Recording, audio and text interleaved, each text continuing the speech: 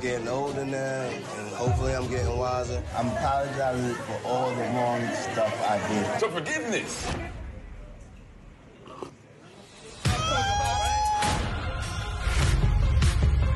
I got arrested this weekend. You are stupid, but he's passive aggressive. What are you talking about? That's the American way. That's up.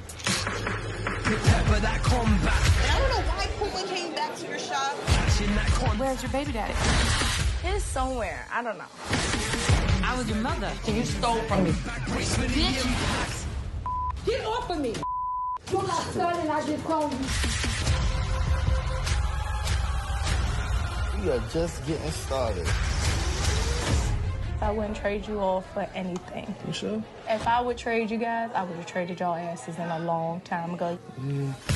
Black Ink Crew returns Wednesday, August 14th at 9 on VH1.